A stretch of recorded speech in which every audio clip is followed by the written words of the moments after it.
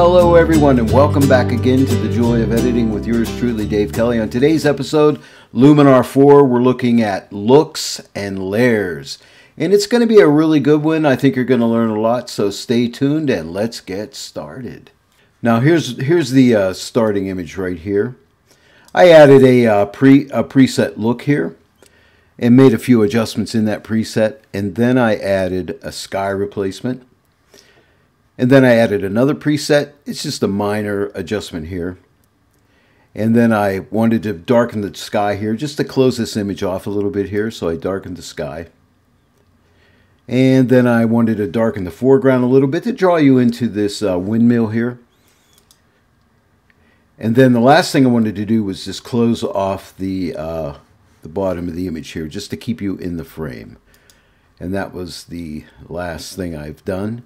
Actually, next to the last thing I've done, then I added a vignette just to draw attention to the actual windmill itself here. And I love the vignette tool inside of Luminar. So let's go ahead. I'll reset this and we'll get started.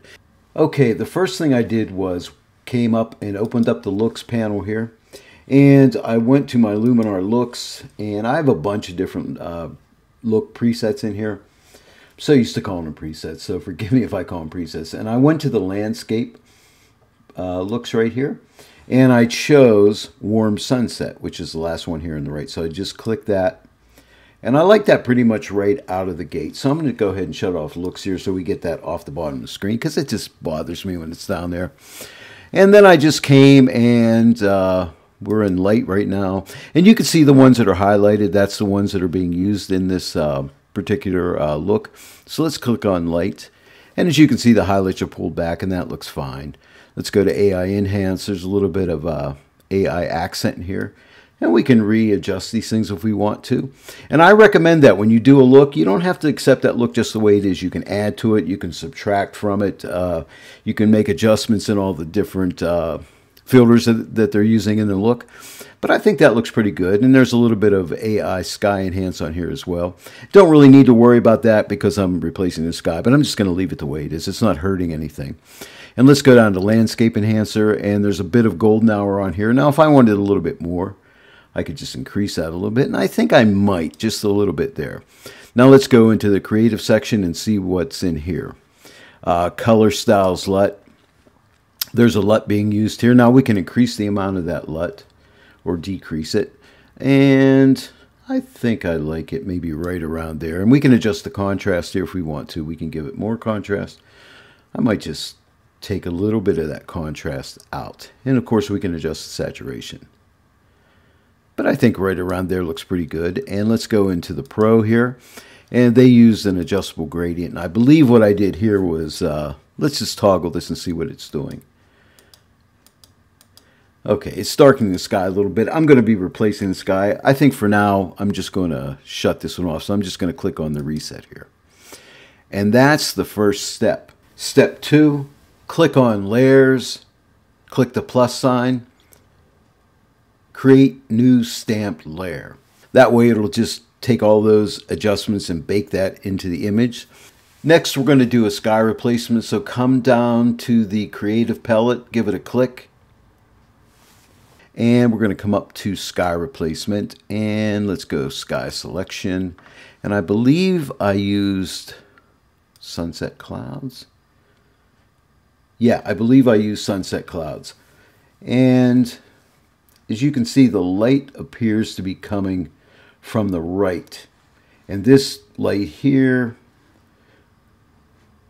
appears to be coming from the left. So what I want to do is flip that sky. So I get the light going in the right direction. And I thought these clouds looked pretty good with this image. And uh, so that's the sky replacement. I didn't do too much else to it. Uh, I might uh, Let's see here. Like relight the scene, see if we want to relight the scene any. It's not doing a whole lot. I might just adjust that up a little bit here. There's no gaps or anything in the sky. I think the sky replacement looks really awesome. Let's check the temperature here. Do I want to warm it up? Yeah, I think I warmed it up a little bit because it's a nice inviting warm scene and I think a little bit of warmth in that sky would look nice. All right, and sky exposure I think looks pretty good. And so then I went ahead and I added a new adjustment layer next. So come up here to the plus key, add new adjustment layer. In today's tutorial, we're doing a bit of an advanced uh, workflow here. So we're working with looks and layers, and I thought it would be interesting for you to see how I work with these different uh, techniques. So the next thing I want to do is add another look. So let's come up here to looks.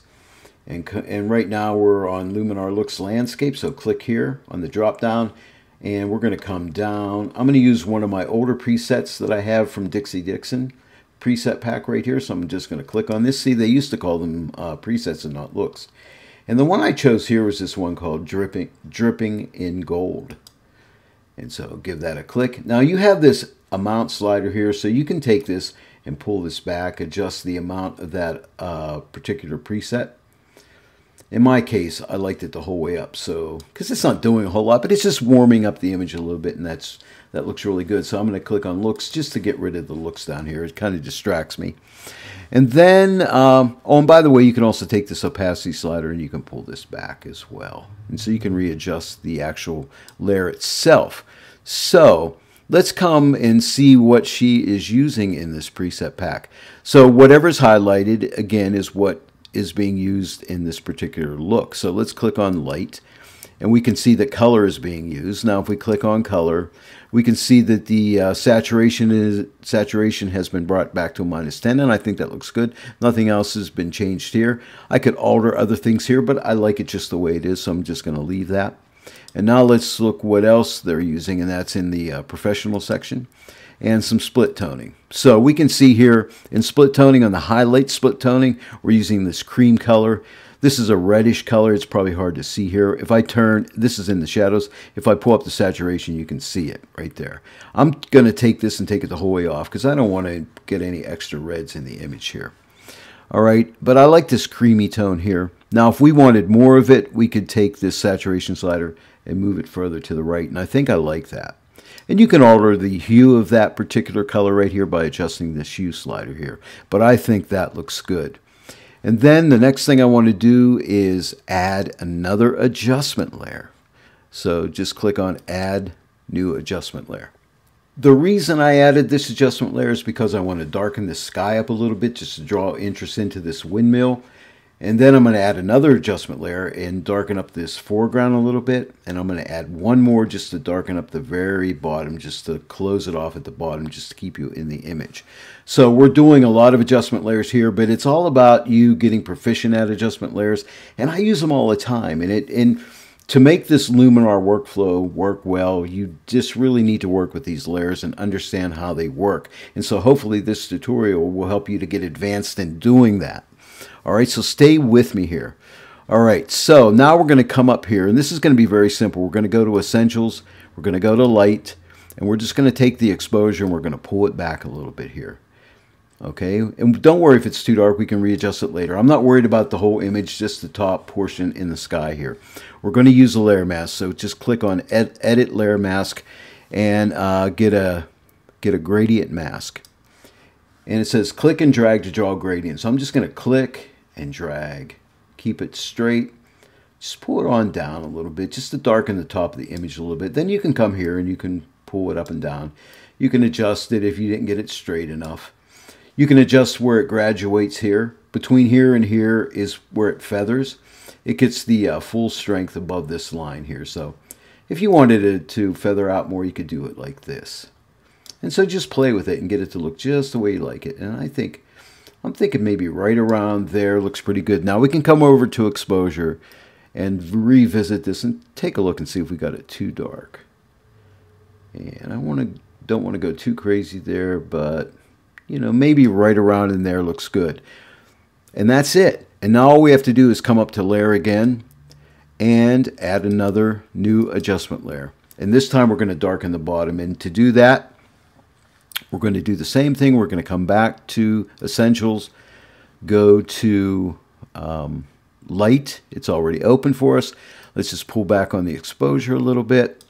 And let's uh, come to Edit Mask, Gradient Mask, and click and drag and draw one up through here. And maybe take it up to about here. Now let's just go ahead and, and just move this around and see if we get it to the right position. And I'm thinking maybe right around there. Now let's revisit the exposure here. And just want to darken it up a little bit there. I don't like this light through here, so I might just pull this up. Yeah, I want a nice smooth transition through here. And I think it needs straightened a bit. So I'm just going to straighten it up a little bit. Let me see if I need to pull it up a little bit more. I think right, I think, yeah, maybe right around there. Let's check the exposure. Let's make sure we get it right. Sometimes there's a bit of delay in these sliders here, but I think right there looks good. Now, we're going to come and add one more adjustment layer. Told you there's a lot of adjustment layers here. So we'll click the plus here, but we need them all. So add new adjustment layer, come back to the essentials. We're back on light again, and we're just going to take the exposure, pull it down a little bit.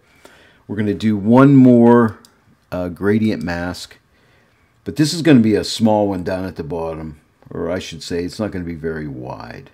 I just want to use it to close off the bottom of this image here and maybe somewhere right around there. And then I can move this around a little bit and watch. I'll just darken this.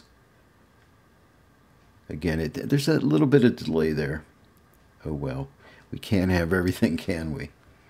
I want this software to work perfectly. Hopefully they'll get this some of these little bugs or issues ironed out. And see how that just closes off the bottom of the frame. So it keeps us in the image. I want our attention going to the windmill. There's only one more step, and that's to add a vignette. And I love the vignette filter in Luminar 4. It's got an inner light feature to it, which is really awesome. I've got some great news for you. We don't have to add a new adjustment layer. So that's cool. So all we need to do now is come to Vignette.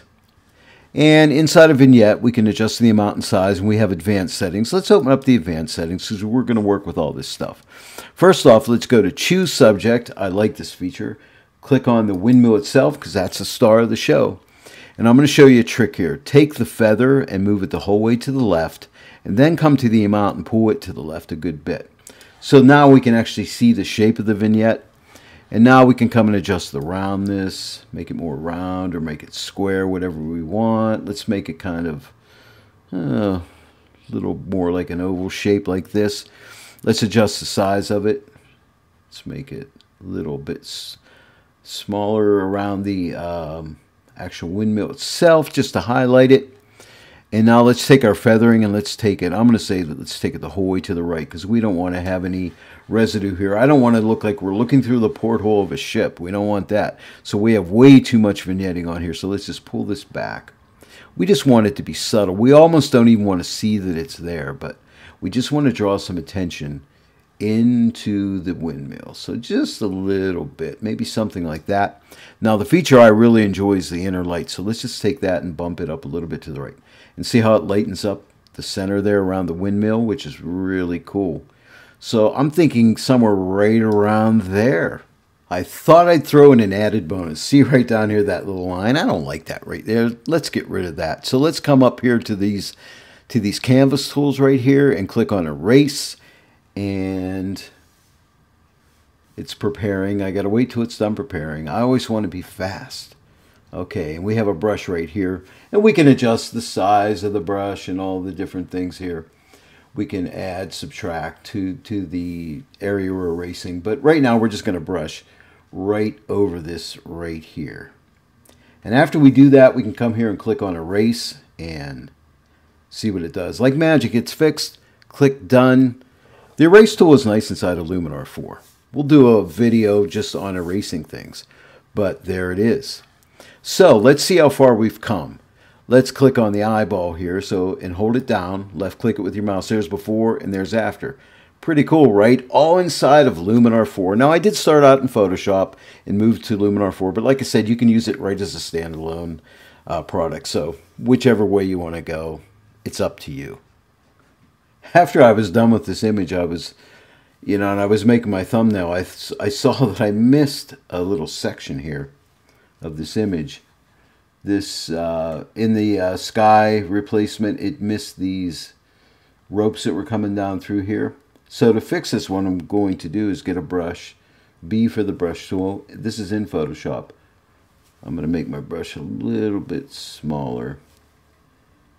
Sample this color by holding the Option key down right here. Click this once and come down to here.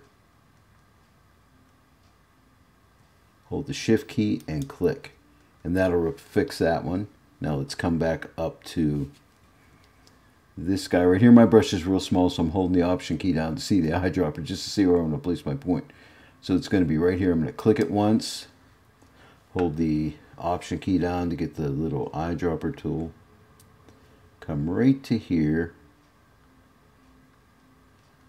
uh, right about here, hold the Shift key down and click, and fix that. You know, just because, just because I care. You know, so, so I thought I would throw that in just to show you how it would fix a little problem like that. I hope you enjoyed this one today and I hope you learned a lot. Please leave comments and questions in the comment section below and I'll get back to you as soon as possible. I answer all my comments and questions. So, I really appreciate each and every one of you guys that view and gals that view my tutorials. I really appreciate you. If you like this video today, please give it a like and share it with your friends. And also, if you're not subscribed yet, please subscribe and click that bell notification icon. This way, every time I upload a new video, you will be notified about it. Well, thank you very much for joining me today on The Joy of Editing with me, Dave Kelly, and I'll see each and every one of you next time. But until then, happy editing.